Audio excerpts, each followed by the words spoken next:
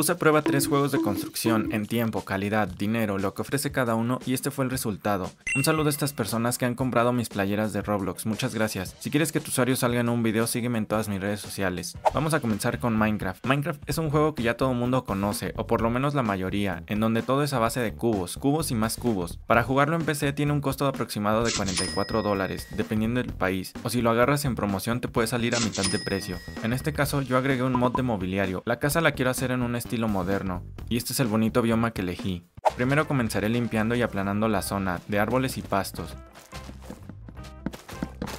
Oh mira, no sabía que existían lobos de este color, qué bonito.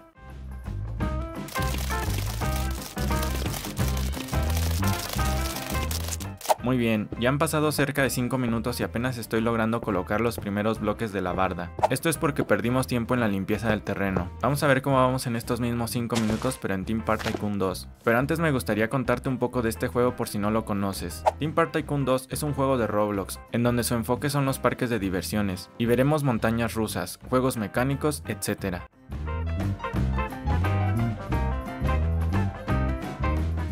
Para poder jugarlo es gratis, entre comillas, porque tiene ciertas limitaciones al construir, ya que cuenta con una buena variedad de pases, los cuales nos desbloquearán las habilidades de construir a como se nos ocurra. Comprar todos los pases nos cuesta aproximadamente 1090 Robux, que en dólares es aproximadamente 20 dólares. Si nos damos cuenta ya no es tan gratis a como parecía, pero todo esto lo analizaremos hasta el final. En los mismos 5 minutos que llevamos de juego en Team Park, ya había comenzado a colocar el muro límite del terreno, sus vallas en un estilo moderno y a diferencia de Minecraft, aquí tengo la ventaja de crear las formas que se me ocurran y volverlas un bloque, para duplicar las veces que sea necesario.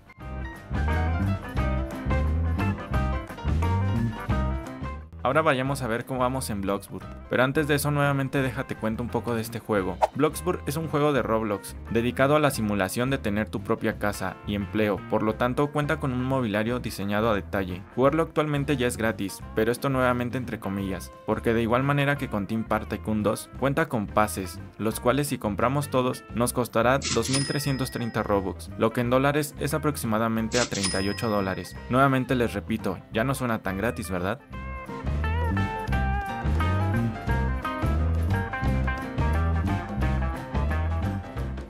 Bueno, veamos qué he logrado construir en los mismos 5 minutos de juego. Comienzo colocando los muros para delimitar el área del terreno que utilizaré, tanto en un costado como en la parte frontal, con esta herramienta de muros que como vemos de momento es más rápido para construir. Le hago un volumen para jugar con las texturas y trato de colocar la puerta principal, pero como vemos tuve problemas, tanto que perdí demasiado tiempo tratando de colocarla y nada más no pude. Mientras tanto en Minecraft, voy colocando en los huecos que dejé esta especie de vallas que viene en el juego por defecto, pero no me gustó el resultado, así que decidí buscar algún objeto que se adaptara a la idea que quería, y encontré estas opciones, pero me quedo con la opción de la izquierda, quito todo lo que ya había colocado y lo voy reemplazando. En lo personal me va gustando cómo va quedando.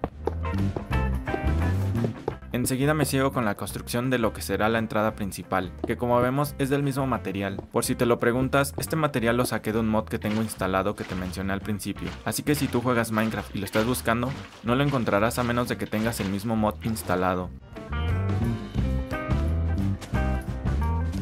Para este momento ya llevo 10 minutos de juego, y por el tiempo que he perdido en limpiar el terreno es lo único que llevo construido, Ahora veamos una comparativa viendo los dos juegos de Roblox y veamos cómo es el rendimiento de cada uno. Del lado izquierdo tenemos a Team Park y del lado derecho tenemos Bloxburg. Del lado de Team Park como vemos ya logré hacer el bloque para las vallas y las comencé a colocar en los huecos del diseño. Por otro lado en Bloxburg como vemos sigo batallando para colocar la puerta. Coloco los mismos bloques en Team Park para hacer una especie de puerta, que aunque no funcionará para abrir será solo una representación. Una de las ventajas de Team Park es de que con el pase de las colisiones literalmente me deja colocar los bloques sin ningún problema, mientras que en Bloxur batallo más para colocar los objetos sinceramente.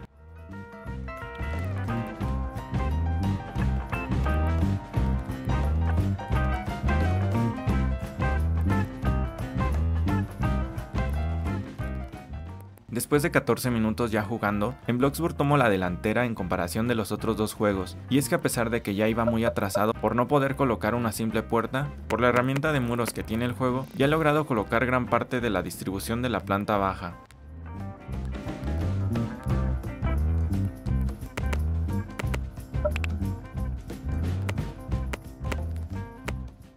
Mientras tanto en Minecraft apenas comienzo con la distribución de la planta baja. Coloco lo que será el ventanal tanto de un lado como del otro, parte de la casa, más volados.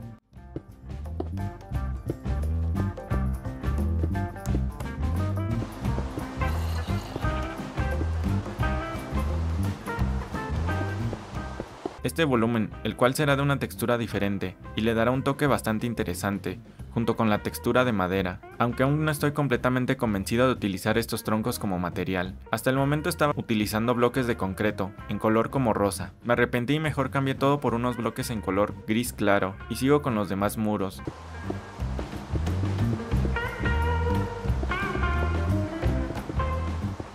Este es el avance hasta el momento, ya con 20 minutos jugando.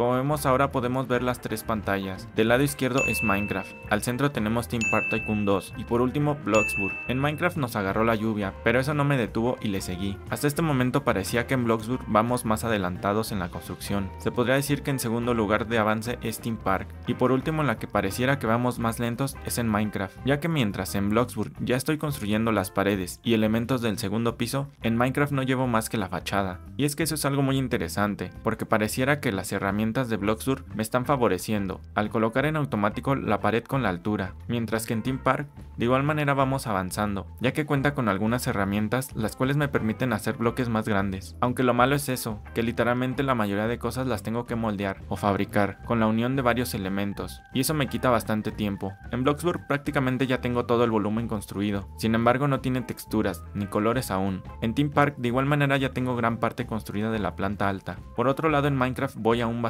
atrasado, y es que me enfoqué primero en hacer la fachada, según yo pensando que lo demás ya sería más fácil y rápido de hacer.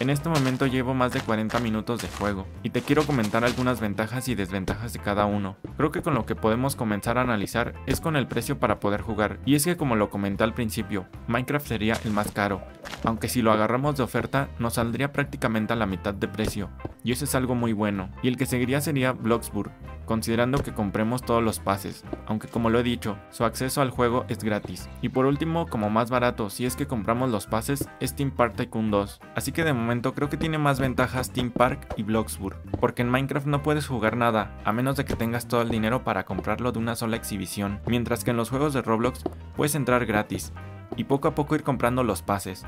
Así es como si lo pagáramos en un plazo a favor de nuestras posibilidades. Por lo tanto, por el precio para poder jugar, la ventaja se la llevan los juegos de Roblox. Ahora vamos a ver la parte que nos ofrece cada uno. Minecraft nos ofrece dos modos, sin considerar los servidores. El primero es conocido como Survival y el segundo modo es en creativo, teniendo todo ilimitado. Y pareciera que solo son cubos y lo que viene por defecto, pero no. Si le sacamos provecho, podemos descargar mods o diferentes texturas, y esto le da una superventaja ante los otros juegos, porque lo vuelve más interesante y divertido de jugar por varias horas, ya sea en modo survival o creativo, mientras que en los juegos de Roblox solo podemos jugar en modo survival, por así decirlo, ya que para construir necesitamos de dinero del juego, sin dinero no puedes hacer nada. También otra desventaja es de que no puedes instalar nada, solo podemos jugar con lo que viene por defecto, y hasta que agreguen una actualización se tienen nuevos objetos o experiencias, así que por la diversidad de extras que podemos meter al juego y experiencias que ofrece, la ventaja se la lleva Minecraft. Ahora vamos a analizar la calidad en cuestión de paisaje texturas e iluminación que nos ofrece cada juego. Minecraft a pesar de que sean todos cubos, en lo personal me gusta bastante, y creo que no me dejarán mentir los que lo han jugado, ya que los paisajes que se forman son muy bonitos. Bloxburg, al ser un juego con área limitada, no genera paisajes, más que lo que ya está construido, sin embargo no se ve tan mal, te hace sentir dentro de una ciudad considerando que es un juego, mientras que en Team Park se podría decir que es el peor en paisaje, porque al estar construyendo y mueves la cámara, ves los bordes del terreno y cómo todo flota, como una isla en la nada. Eso en lo personal no me gusta nada, siento que construyo en el vacío, así que la ventaja sin dudarlo se la lleva Minecraft en cuestión del paisaje. En cuestión de texturas, Team Park y Bloxburg son relativamente parecidos, por ser ambos de la plataforma Roblox, solo que obviamente Bloxburg tiene más texturas, al ser un juego dedicado a la construcción de casas, así que en estos dos juegos al tener diferentes enfoques, ambos son muy buenos en cuestión de texturas. Ahora, si comparamos los juegos de Roblox y Minecraft, creo que es cuestión de y no podría decir cuál es mejor, sin embargo Minecraft tiene la ventaja de que le puedas cambiar las texturas, pero déjame en los comentarios,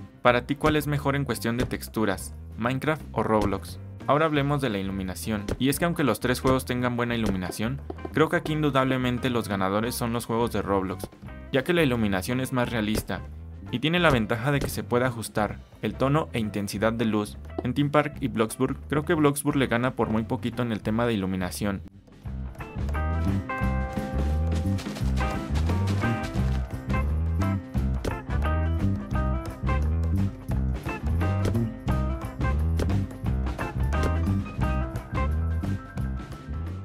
Y miren qué sorpresa, a pesar de que en Minecraft iba más atrasado, resultó que terminé antes, prácticamente en una hora y media. Qué curioso. También lo que me ayudó es que al tener el mod del mobiliario instalado, no tuve que construir cada una de las piezas, sino solo las tuve que colocar. Algo que noté y me gustaría comentarles es de que en Bloxburg tuve muchos problemas al momento de colocar algunas figuras básicas, ya que con su sistema es algo raro y complicado, o por lo menos yo no me acomodé. Quizás porque tengo menos experiencia de juego que en Team Park, no lo sé.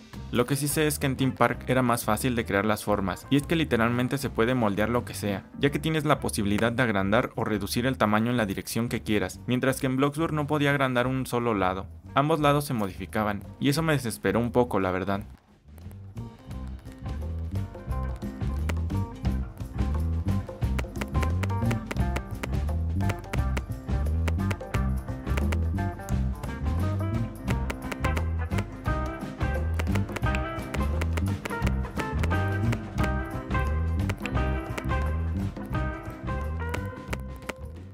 Llevo una hora 45 minutos y ya he terminado la casa en Bloxburg. La verdad es que pensé que en Bloxburg iba a terminar mucho antes, pero no. También quizá fue por todo el tiempo que perdí al no tener tanta experiencia jugando.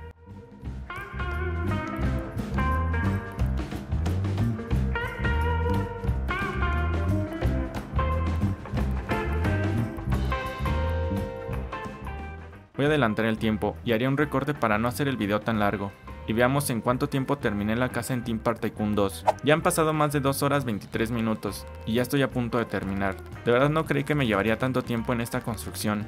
Sin embargo estoy bastante contento con los resultados. Ahora pasemos a ver por último los resultados finales y así sacar conclusiones. Ok, veamos el tiempo, y quiero aclarar que esto depende de cada jugador, esto es solo una prueba, teniendo de base mi experiencia. La casa de Minecraft la terminé en 1 hora 30 minutos, la casa de Bloxburg 1 hora 45 y por último Team Park Tycoon 2, el cual me tardé 2 horas 25 minutos, así que la ventaja en tiempo se la lleva Minecraft. Ahora veamos el precio que nos cuesta jugar cada uno, y aquí ganan los dos juegos de Roblox, ya que son de acceso gratuito, y por poder comprar los pases cada que tengamos la posibilidad. En cuestión de qué me ofrece cada juego, la palomita verde se la lleva Minecraft, por la posibilidad de instalarle cosas extras, como mods, texturas, etc. Sobre el paisaje, indudablemente se lleva la palomita verde también Minecraft. En texturas, como les comenté, creo que esto es de gustos, así que le dejaremos una palomita verde a cada uno.